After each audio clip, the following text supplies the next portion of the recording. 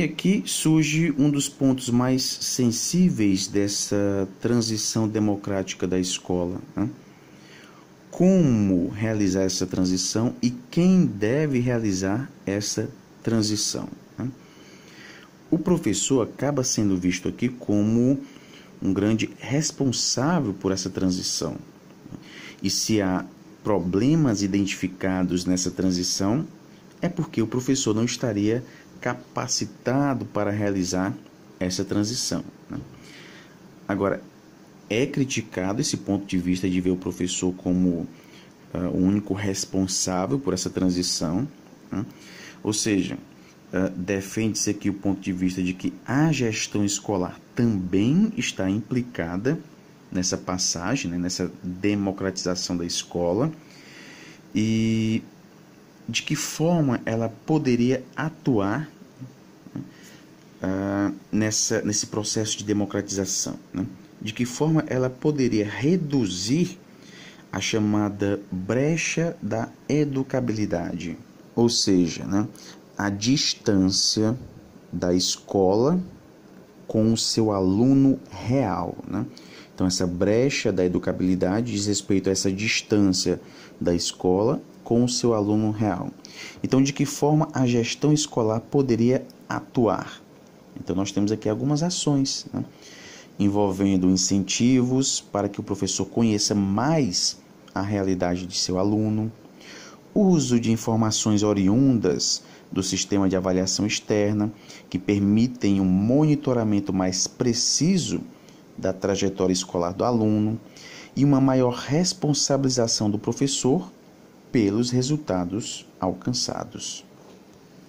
Essas seriam, seriam algumas das ações né, ah, desenvolvidas pela gestão escolar né, uh, para auxiliar o professor também né, nessa transição democrática da escola.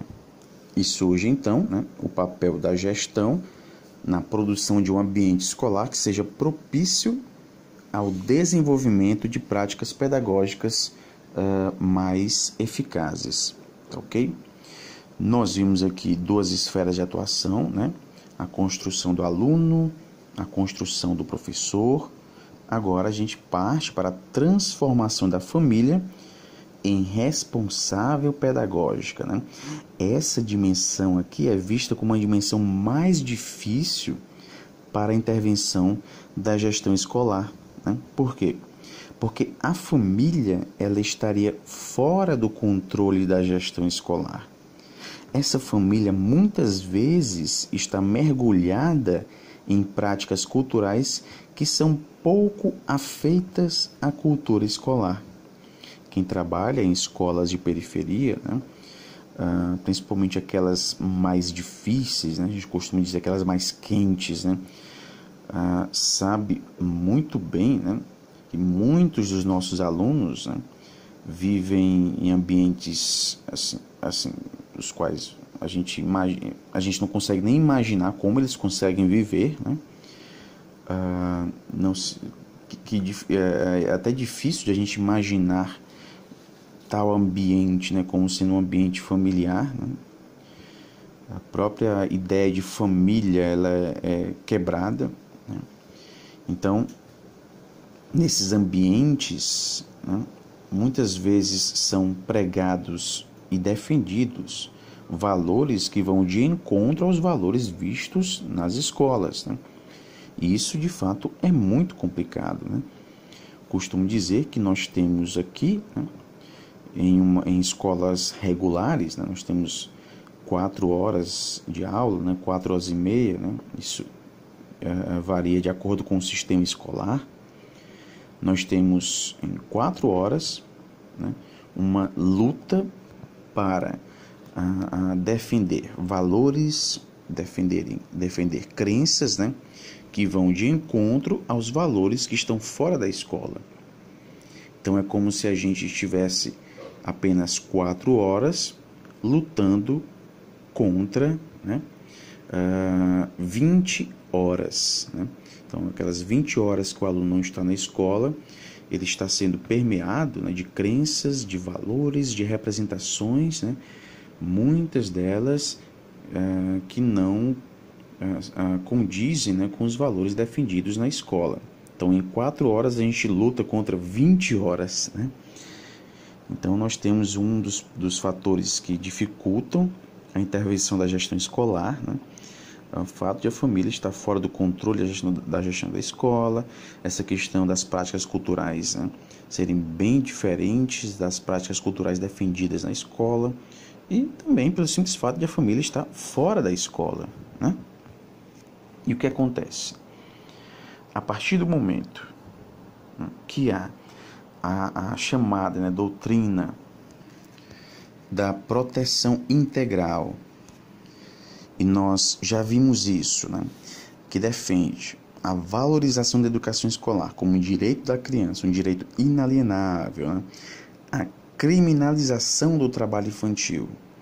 E a partir do momento que as famílias passam a ver dessa forma, né, passam a dar um valor maior à educação, uh, também no sentido de reduzir a criminalidade dos próprios integrantes dessa família, né, há um aumento das expectativas da família em relação à escola. Né? Ou seja, há aqui uma sobrecarga de responsabilidades para a escola. Então, quando a família entende né, que este jovem não deve ir logo para o mercado de trabalho, deve primeiramente ter essa educação. Né? Então, uh, o foco é primeiramente na educação. Então, não vai para o mercado de trabalho, vai para a educação. Uh, e, consequentemente, reduzindo assim as possibilidades desse jovem entrar no, no, no mundo do crime, né? Então a, a, a família passa a direcionar para a escola né, muita um, uma sobrecarga muito grande, né? inclusive, né, inclusive pontos relacionados à educação que dizem respeito à própria família, ela passa a direcionar para a escola, né? É uma sobrecarga muito grande. Por isso que a gente costuma dizer né, que a gente, além de ser professor, a gente é psicólogo, a gente é juiz, a gente a gente é bombeiro e, e, até mesmo advogado. Né? A gente acaba acumulando muitas funções né? Uh, devido também a essa sobrecarga de responsabilidades para a escola. Uh, então, surge aqui a gestão escolar como um importante uh, elemento né? para canalizar essas expectativas. Então, há um aumento das expectativas da família em relação à escola, cabe então à gestão escolar canalizar essas expectativas.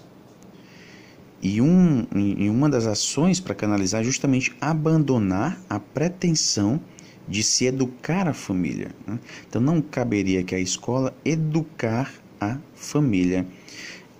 É importante aqui adotar a noção de responsividade.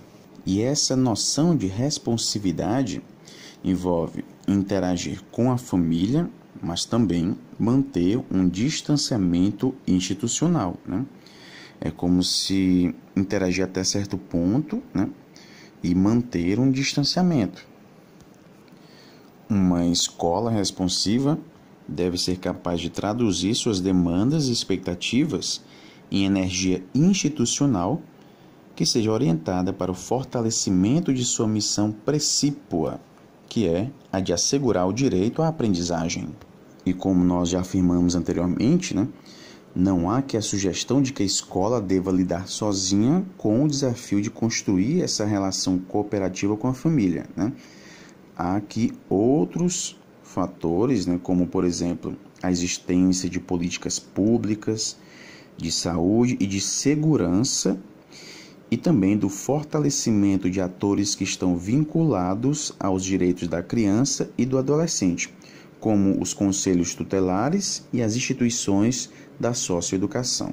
Posteriormente, né, nós chegamos aqui à construção do compromisso da sociedade com a escola. Né? A educação escolar é vista aqui e é utilizada na né, Constituição de 88 como um dever do Estado e da família. Né? Uh, deve ser promovida e incentivada com a colaboração da sociedade e é justamente nesse aspecto aqui, né, colaboração da sociedade, é que vai ser destacada a proliferação de ONGs e projetos sociais. Né? Agora, o problema aqui é que muitas ONGs né, e muitos projetos sociais acabam uh, estando vinculados a, a uma concepção salvacionista, ou seja, utilizando-se aqui da doutrina da situação irregular. O objetivo dessas ONGs que seguem essa concepção salvacionista estaria em, digamos, não ter muita preocupação com o impacto de sua ação sobre o desempenho escolar, mas sim preencher o tempo ocioso das crianças e adolescentes, né? Então o foco aqui não estaria muito voltado para a questão pedagógica, né? Agora, não há como negar né, que há uma importância dessas ONGs, né? E que também com a proliferação dessas ONGs passa a haver uma maior exigência de qualificação do próprio trabalho que é realizado nelas. E cabe então à gestão escolar acelerar esse processo de amadurecimento da participação da sociedade civil no trabalho escolar, né? fazendo assim, pessoal, essa ponte, né, digamos assim, uh, da sociedade civil, representada, por exemplo, pelas ONGs, né, com o trabalho que é desenvolvido na, na, na, na escola. Né? Chegamos aqui às considerações finais. Né? É destacado novamente o papel de protagonista do processo de transição democrática da escola, né? Uh, papel este desenvolvido pela gestão escolar. Né? Este papel envolve né, quatro esferas de atuação: a construção social do aluno, construção social do professor, responsabilização pedagógica da família popular né, e também na canalização e direcionamento da energia da sociedade civil para o trabalho escolar. Né? Todos esses pontos nós vimos aqui separadamente em cada item deste artigo. Agora é importante destacar que estas quatro esferas de atuação né, não são responsabilidades exclusivas da gestão escolar, como nós também já falamos anteriormente. Agora, o que é fato é que a reforma da escola não poderá ser realizada sem a plena participação dela na construção dos segmentos que, direta ou indiretamente, estão, eh, estão implicados no trabalho escolar. A aposta aqui defendida pelo autor do artigo, né, e ele finaliza o seu texto com essa proposta, né, é a de que a gestão escolar deve ser entendida como lugar relevante de imaginação, criatividade e inovação institucional, e enquanto campo de intervenção política, social e cultural, com largo alcance para o destino da democracia brasileira. Ok? Então, pessoal, nós finalizamos aqui a análise deste artigo. Né? Uh, leiam novamente o texto, realizem aí anotações, né? busquem também fazer relações desse, desse texto com outros textos presentes nas referências, tá bom? Então, no mais é isso. Bons estudos a todos e até a próxima.